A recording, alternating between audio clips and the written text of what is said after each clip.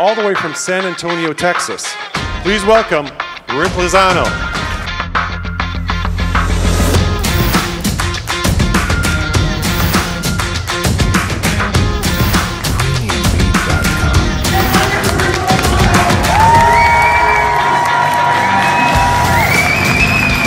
It was phenomenal to have Rick. So Rick is a talented person. Not only is Rick a internationally renowned facilitator and keynote speaker, but he's also a singer, songwriter, and a musician.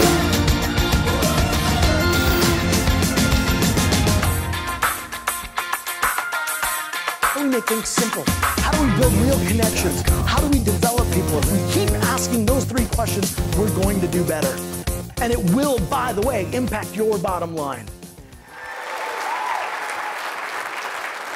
All right, you, many of you are leaving here today. You got to take some time out from your day to day job and you got to be here for a couple days and be liberated. Together, you cooperated, collaborated, communicated, you were educated. Hopefully, now you feel a little bit reinvigorated, motivated, dedicated. Last night, if I'm not mistaken, you celebrated. This morning, you're highly caffeinated because some of you got intoxicated and inebriated. Is that correct?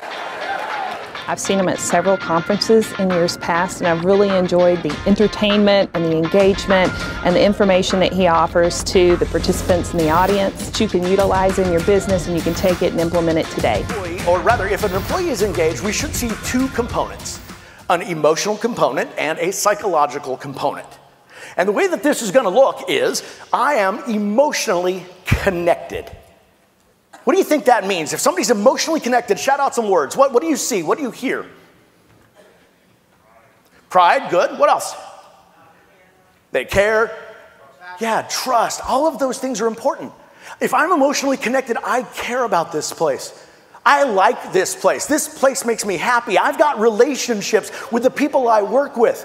I care about this company. Doing. There's a phrase that goes with this, and it says, In the beginner's mind, there are infinite possibilities. In the expert's mind, there are few. And we have a lot of experts at work. And obviously, that's good. But when we think about the need for us to move in the next direction, you guys have some big challenges in front of you 3D printing, driverless trucks. The industry is being disrupted right now, and if we don't think differently, we're not going to work out so well. I help companies create engaged cultures and positive business impacts.